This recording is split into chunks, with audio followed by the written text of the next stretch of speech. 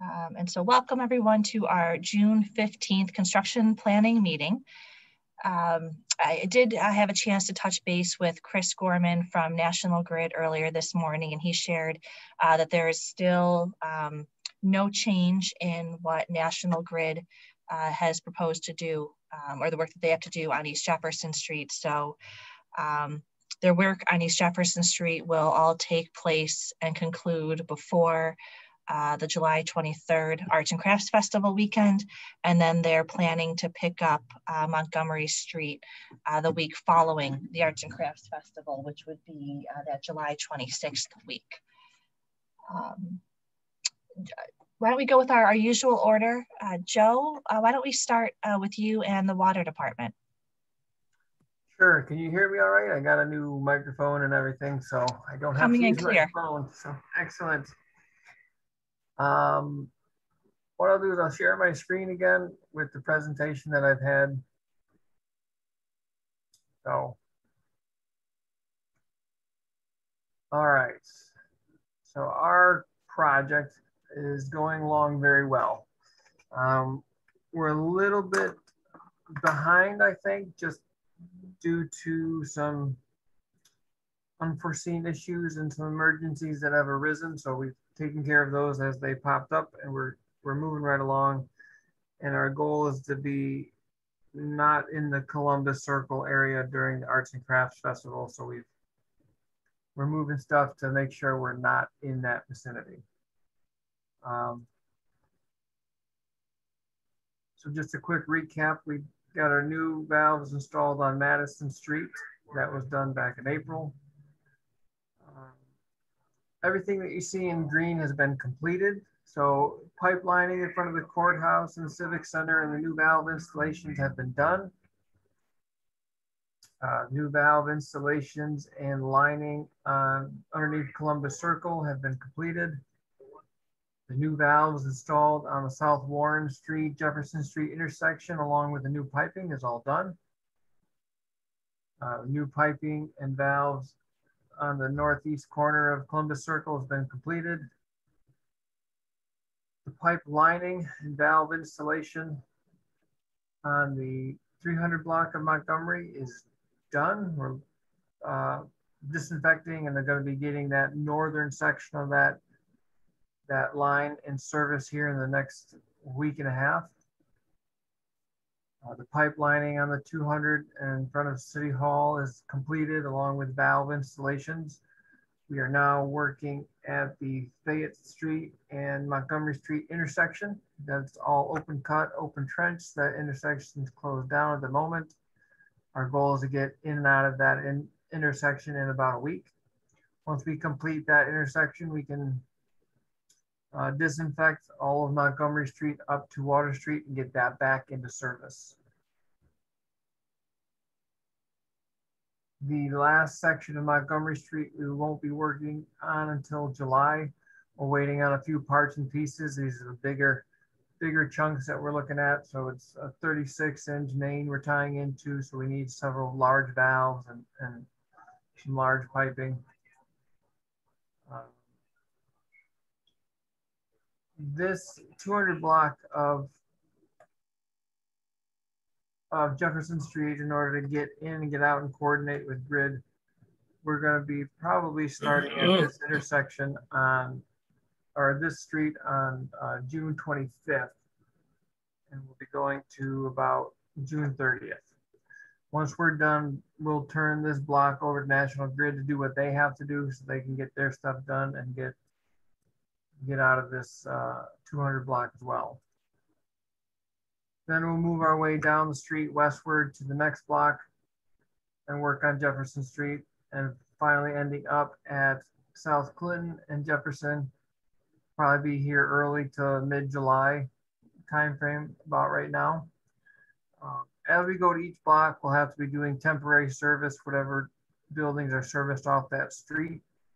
So there's a little little bit of prep time, setup time to get those temporary services in and installed and get the buildings uh, water service reestablished before we can start excavating and removing the old main.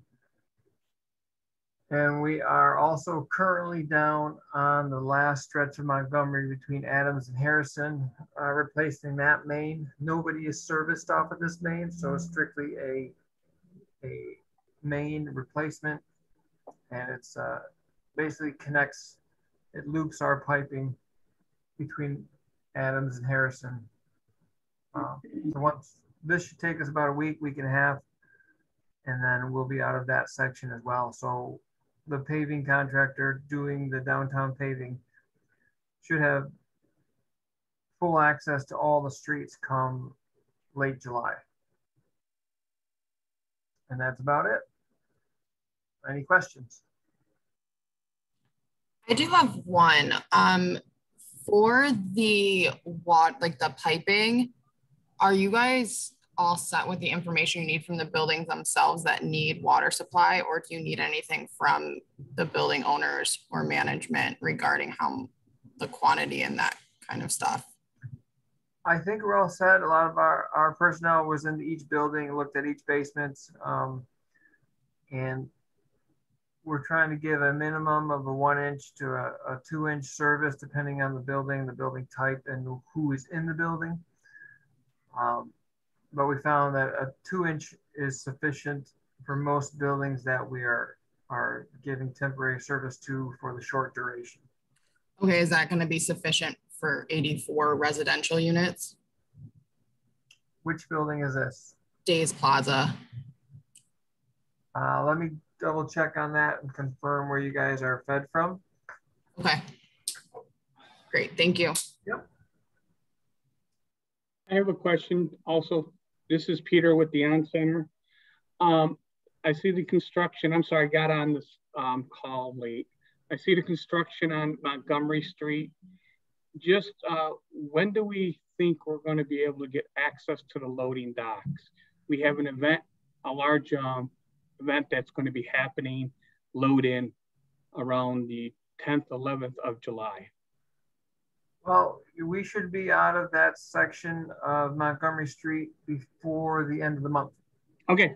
Okay. If you need uh, access to the loading docks, I talked to our guys and, you know, if you know something's coming in, just give them a heads up. They can put down road plates if they're in that area, but they're going to be, especially in the loading dock area, they're going to be backfilling as quickly as possible to maintain that access for you.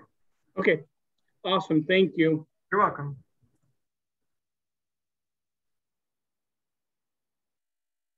Any other questions?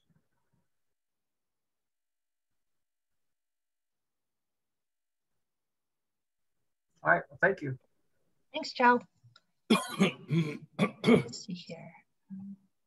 John Kivelhan, uh, could you give us an update, please, on paving? Yep. Good morning, everybody. Um, contractor is currently uh, focusing his efforts in the uh, 300 block of Salina Street.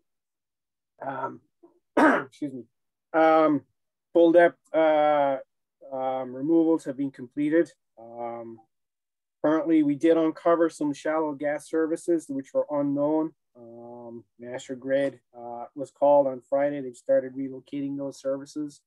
Um, as soon as those services are, are relocated, the contractor is going to start placing his stone. Uh, and he hopes, uh, you know, by Thursday or Friday, be able to start um, placing asphalt back in the pavement section.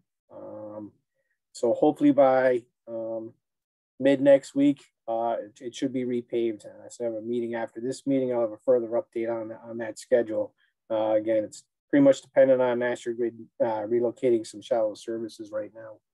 Um, so once that's repaved, uh, we'd be in a position to open up uh, the 300 block back to traffic.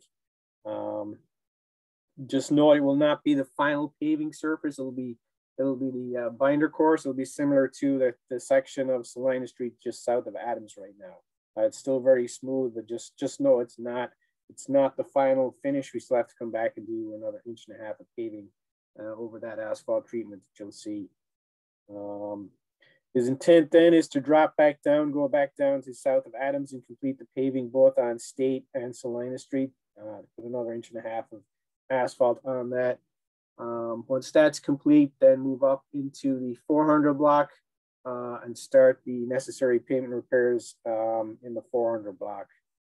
Uh, during that during that operation, our intent is to keep one lane of traffic open and use the other existing city streets uh, as a detour route. But we will not will not, will not be a full closure. Uh, we've also discussed keeping a, a lane of parking uh, during that work zone traffic control.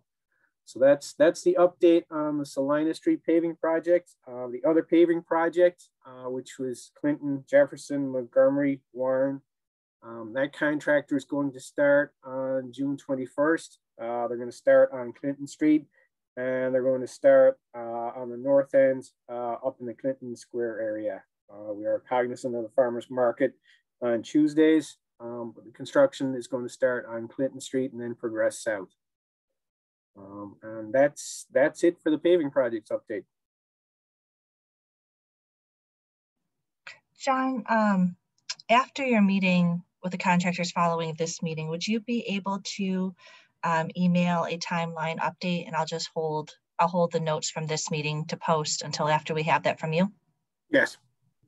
And then would that also include an anticipated start date for the 400 block of South Salina Street? Uh, it should. Uh, I just have to talk to the contractor. I'll, I'll definitely have an update on the 300 block. Okay. Um, just need to figure out when they're going into the 400 block. Thank you.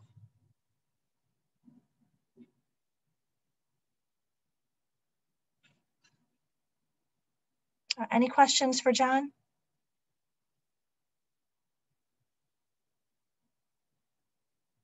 Okay.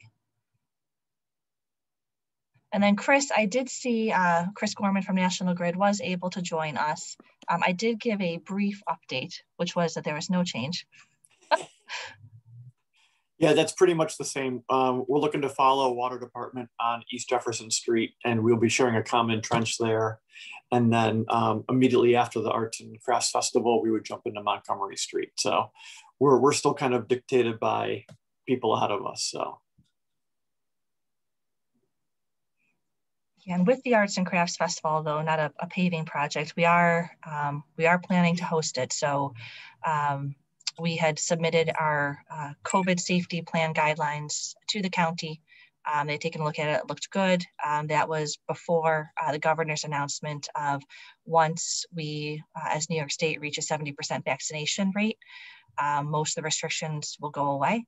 Um, and at the time, I think we were like 1.4% away from reaching that 70% limit.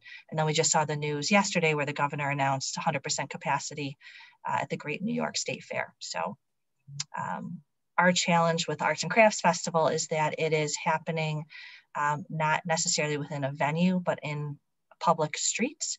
And so uh, right now the city is uh, limited to only accepting events of 500 people or less, um, whereas venues can host larger, larger crowds. So uh, we are we're still hopeful uh, that will this will be able to happen. We're moving ahead with the planning as if it will be happening. Um, so again, appreciate uh, the city and National Grid and all the property owners' cooperation um, to helping this event take place.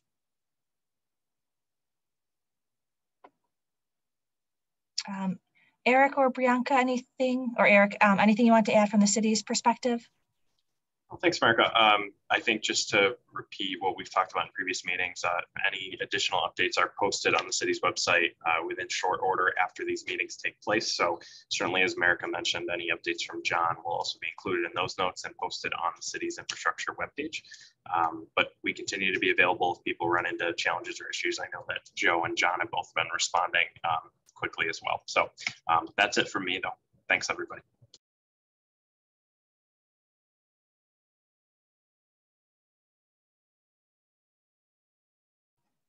Thank you, everybody. Uh, we will see you uh, another two weeks. All right, thanks, Marika. Thank you.